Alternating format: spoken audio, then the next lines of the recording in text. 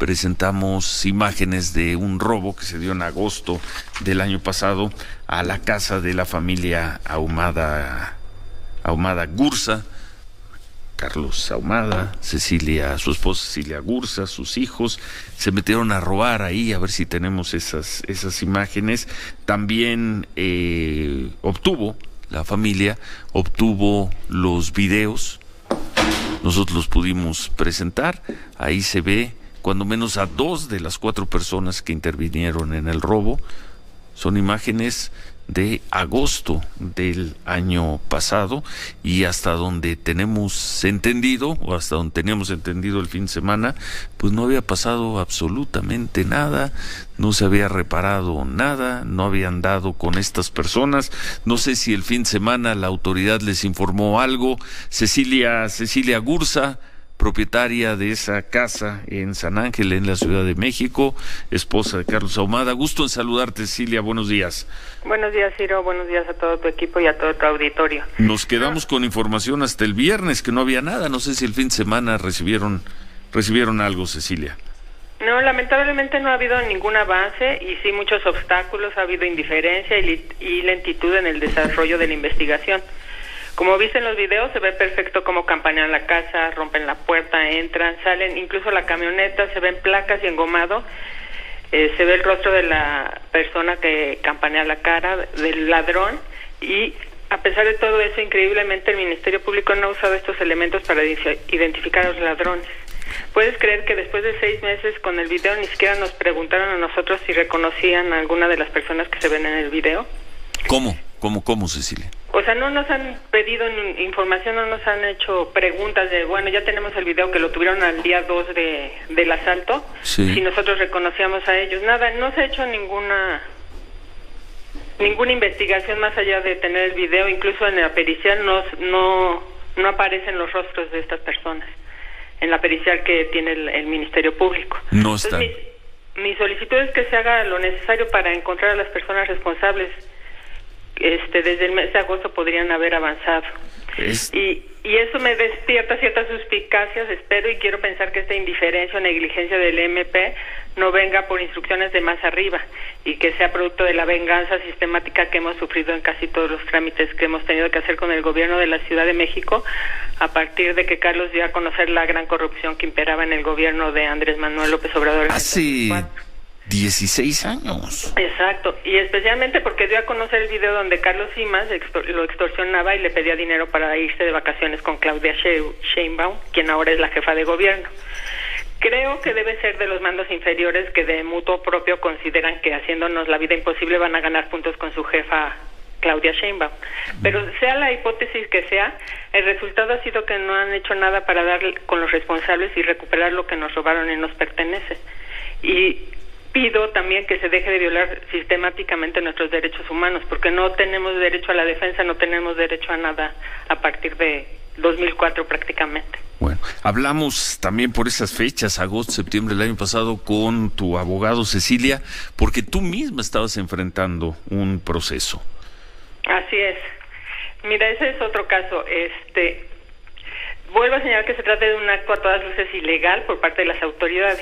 Se me acusa de una defraudación fiscal millonaria sin darme la oportunidad de aclarar la situación mediante los mecanismos establecidos, sin requerimientos, sin auditoría de la SAT, sin que el MP me solicite información alguna.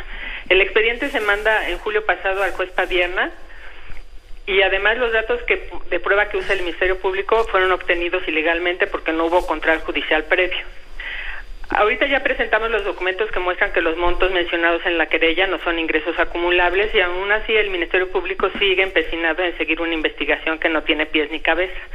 Lo más absurdo y ridículo de esta carpeta de investigación es que el delito por el que se me pretende procesar ya está prescrito desde hace años. ¿Cómo? Sí, ya, ya está prescrito, pero siguen haciendo. Se supone que vivimos en un estado de derecho donde la institución del MP es una institución de buena fe y que todos sus actos deben estar regidos por la legalidad, la imparcialidad y por la buena fe. Y no es, eso no está pasando en nuestro caso. Bueno, ¿cuál es tu situación en este momento, Cecilia? Pues está, se está este, dando pruebas con el Ministerio Público. Y también quisiera mencionar el caso de Carlos, que está en proceso de extradición por una cosa más todavía más ridícula.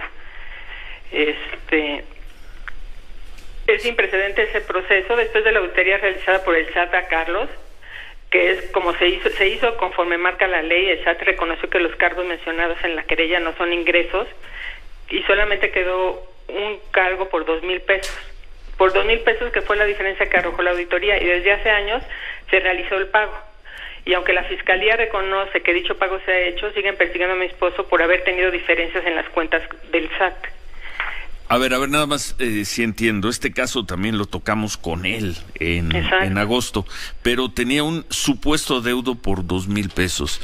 El adeudo se por dos mil pesos, dos mil pesos mexicanos. Exacto, dos mil pesos mexicanos que se pagaron en su momento después se de pagaron y, y por eso están pidiendo que por ese adeudo, por ese incumplimiento fiscal, se mantiene vigente la orden de extradición, la solicitud de extradición al gobierno de Argentina. Exacto, sí es ridículo y es absurdo que por dos mil pesos mexicanos, que ya se pagaron además, el gobierno de México esté gastando miles y miles de dólares para intentar extraditar a Carlos, traerlo a México, internarlo en un recursorio para que pueda aclarar la situación. Y esto este, también cabe mencionar que el ex embajador de México en Argentina, que en ese tiempo era el, Ricardo Valero, el embajador, y que es mejor conocido en Argentina como el embajador mechero, porque. ¿Mechero? el embajador, ¿por qué mechero? Porque así se le llama a las personas que roban en tiendas departamentales y porque él pues como sabemos robó y, incluso estaba acusado de acoso sexual. Bueno él fue quien realizó y firmó el pedido formal de extradición ante el juzgado en Argentina. Y en el documento que él firma reconoce que la auditoría se llevó a cabo y que Carlos pagó los dos mil pesos pero que ahora lo intentan castigar por la conducta que supuestamente llevó a cabo por no haber pagado los dos mil pesos. Y además te quiero decir, Ciro, ni siquiera se debían esos dos mil pesos, pero para fines de que se acabara la auditoría nosotros decidimos pagarlos. Y nuevamente pido que se respeten los derechos humanos de mi esposo, de mis hijos, de mi familia, de todos los mexicanos, porque realmente es, es cae en lo ridículo esta situación. Y también te quería comentar que la semana pasada solicité audiencia con el fiscal general de la República, Alejandro Gertz Manero, y con la fiscal de la Ciudad de México, Ernestina Godoy, para tratar estos temas y estoy esperando su respuesta. Audiencia con la Fiscalía General. A ver, nada más en, en resumen, están bajo proceso tú, Carlos Ahumada, tu esposo. Sí. y además no tiene ninguna información ni ningún avance sobre el robo que sufrieron hace medio año. Exactamente. Tú sigues bajo proceso, él está bajo proceso y del robo nada. Nada, sí. Entonces quería aprovechar esta oportunidad que me brindas al entrevistarme y de esta forma que todos los mexicanos y sobre todo las autoridades máximas de nuestro querido México se enteren de la persecución político-judicial que está, de que está siendo víctima mi familia quiero pedir de la manera más atenta y respetuosa en carácter de súplica al presidente Andrés Manuel López Obrador que gire las instrucciones necesarias a quien corresponda para que cese por parte del gobierno la violación sistemática de los derechos humanos que estamos siendo objeto mis tres hijos, mi esposo y yo. Creo que tenemos derecho, como cualquier mexicano, a vivir en, en nuestro país en paz, tranquilos y con seguridad jurídica, a que se respeten nuestros derechos humanos. Y con las noticias que hemos estado viendo últimamente, parece que en México la violación de los derechos humanos, la posibilidad de vivir en paz, de que haya medicinas y seguridad jurídica al alcance de todos, se ha vuelto una utopía. De verdad me niego a pensar que estos derechos fundamentales no estén al alcance de cualquier ciudadano. Yo amo a México y no quiero renunciar ni voy a renunciar a mis derechos ni a los de mi familia. Y tampoco quiero pensar que estamos siguiendo los pasos de Venezuela. Mm. Y por último, Ciro, yo te quiero decir que nosotros no queremos ser noticia, de verdad, después del 2004 queremos vivir en paz, solamente queremos vivir en paz y en ese sentido este pues hemos tomado la decisión de irnos a vivir a Argentina al menos por unos años.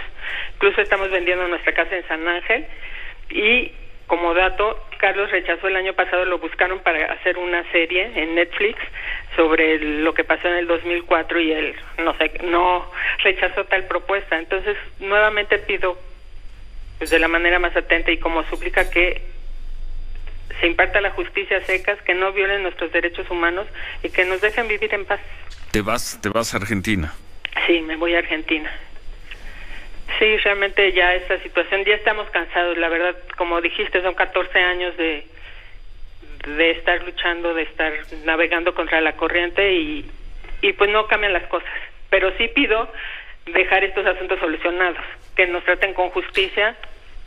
Incluso ahorita me acabo de acordar que en el 2004, en el 2005 tuve que ir con, con el asunto de Carlos a entrevistarme con un magistrado de la Suprema Corte y me dijo una frase que realmente se me quedó grabada para siempre, que me dio impotencia y frustración y me dijo, señora, tranquilícese, el asunto de su esposo es político, no tiene que tiene que tener paciencia y esperar que pase el tiempo, porque cuando la política entra por la puerta, la justicia sale por la ventana. Y parece que la historia se está repitiendo, Ciro. Nuevamente estamos siendo este Entonces te vas, te vas de México. Sí, me voy, me voy. Bueno. Y van a te digo, estamos vendiendo la casa, estamos dejando todo quiero dejar todos los asuntos cerrados y tranquilos y, y me voy cuando menos por unos años. ¿Y Netflix buscó a Carlos para hacer una serie?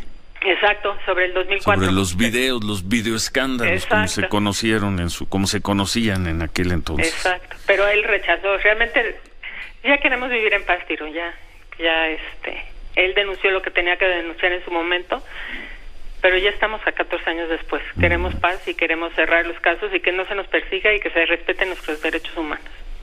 Pues muchas gracias, muchas gracias por toda esta información, Cecilia. Y regresando a la primera pregunta, entonces del robo de agosto, nada. Nada, El robo a su casa, la casa de ustedes ahí en San Ángel, nada. Nada, ni y te digo que las los peritajes y todo eso sacan sacan pruebas importantes porque no se ve el rostro de la persona que, que tú presentaste en el video, no se ve el rostro de la señora, no no se siguen, se buscan las placas, el engomado, todo para, hay muchos elementos que podrían llegar a, a encontrar a los culpables. Bueno, muchas gracias Cecilia. Muchas gracias. gracias, gracias. Buen día, Cecilia Gursa, la esposa de Carlos Ahumada.